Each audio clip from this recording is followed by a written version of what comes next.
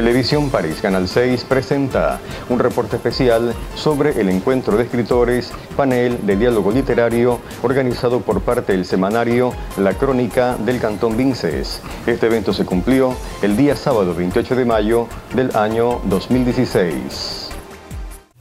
Por conmemorar el 15 de noviembre del año 2016, el aniversario número 30 del semanario La Crónica de Vinces, el sábado 28 de mayo del año indicado, este importante medio de comunicación impreso organizó un encuentro de escritores, panel de diálogo literario, mismo que contó con la presencia de la mayoría de los escritores de Vinces y de la provincia de Los Ríos, programa que se realizó en el Salón de Eventos París Chiquito del Hotel Noches de París. El moderador del programa fue el licenciado Belfort Serna Zambrano, director de la crónica. La bienvenida oficial al encuentro la realizó la licenciada Sara Acosta Sandoya, gerente del semanario La Crónica. El 15 de noviembre del año 1985 se celebró la palabra La Crónica con expresiones como estas. En su primer editorial que dice así, abro conmigo, con plenitud de ideales y optimismo, iniciamos esta labor periodística convencidos de la imperiosa necesidad de que nuestra ciudad, conforme a su vida cultural y desarrollo, debe de contar con un medio de comunicación a través del cual se expresen sus aspiraciones, actividades y problemas. De autoría del profesor Gonzalo Villamorán, editorialista por 28 años de este semanario. Y más adelante dice textualmente, en una tribuna abierta del pensamiento. Exactamente eso hemos querido mostrar a lo largo de estos 30 años. Posterior a ello, se les consultó a los ilustres escritores la razón fundamental de haber publicado sus obras. Yo diría que el gran arquitecto del universo dispone las cosas como deben ser. Ya uno nace con un camino predestinado. Yo creo que la historia, como históricamente aquí en el país y creo que en el mundo, le escriben los vencedores, le escriben los poderosos. Ellos ponen el relato. Y creo que la misión de muchos que tal vez tenemos la posibilidad también de escribir, es darle voz a los vencidos. Ese es el compromiso que entendemos nosotros los que nos hemos atrevido a escribir algo, debe ser realmente el gran objetivo, servir a los demás. Escribir es servir.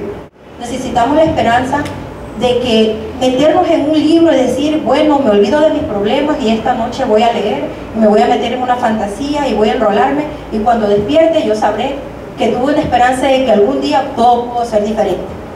De que yo tenía estas cosas y tenía ciertos eh, relatos de mi tierra, de las costumbres, y me animaron a escribir.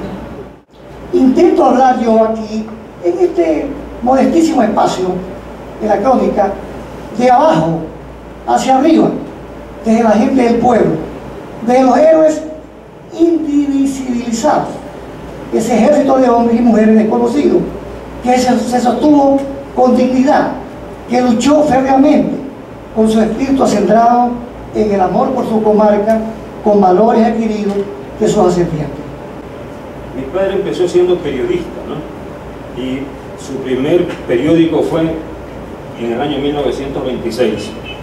Su periódico era La Voz del Alumno, ¿no? Y fue acá en. Y después se fue a estudiar a Quito con una beca que le dio el Consejo Cantonal, que nunca la pagaba el Consejo, entonces a mi padre lo tenían ahí viviendo de regalo y lo mantenían sus profesores porque el Consejo nunca pagaba nada.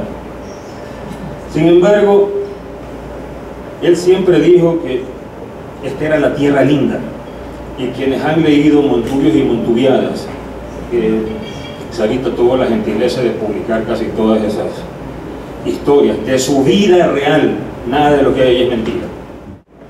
Eh, para escribir se necesita un poco de vocación para hacerlo. No todo el mundo se puede poner a escribir porque entonces hubiera más escritores los que bastantes que ya hay. Como hay, como vocación para jugar fútbol, para boxear, para jugar tenis y para tantas otras habilidades, también se necesita un poquito de vocación, a más de, de la lectura, para poder sentarse a escribir. Esta es una opinión muy modesta la mía. Y esto de escribir, como he escuchado de mis colegas, este, llama mucho la atención. ¿Por qué? Porque la lectura podría ser, la escritura podría ser también una profesión, pero muchos lo hacemos como un hobby.